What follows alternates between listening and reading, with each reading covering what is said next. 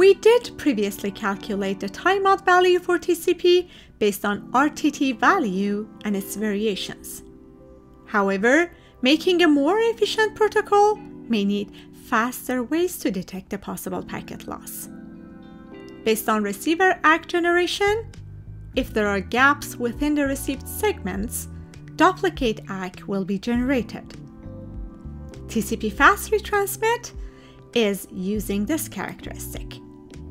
If sender receives three acknowledgements for the same data, which is an event called triple duplicate ACKs, it will resend the unacked segments with the smallest sequence number. This is because it will consider the triple duplicate ACKs as a sign of gaps existing in the receiver side buffer, which might be due to lost segments. Let's explore this with an example. Assume the sender, host A, sends the first segment with sequence number 92 and 8 bytes, and the second segment with sequence number 120 bytes and three more following segments with higher sequence numbers after.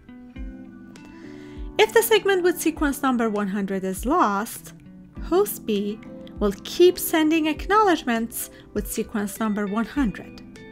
On receipt of three of these ACKs, triple duplicate ACKs, which might be well before the timeout for the segment with sequence number 100, this will trigger the fast retransmit of segment with sequence number 100.